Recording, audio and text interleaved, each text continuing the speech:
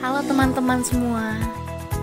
Hari ini saya mau menginformasikan hiburan tentang acara Preskon TI 2020.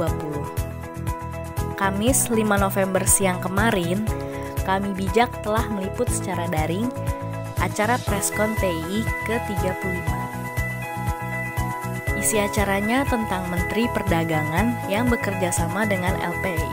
LPI itu kepanjangannya Lembaga Pembiayaan Ekspor Indonesia. Tujuannya untuk apa? Untuk mendorong ekspor nasional, khususnya UKM ekspor. Apakah LPI memberi fasilitas bantuan hanya biaya saja? Tidak, ada yang lain. Bantuannya berupa jaminan, asuransi, dan jasa konsultasi sebetulnya sudah lama bekerja sama.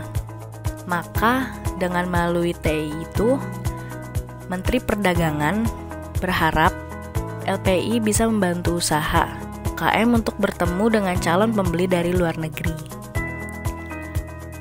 Untuk biaya, LPI bekerja sama dengan banyak bank agar transaksi jual beli jadi mudah.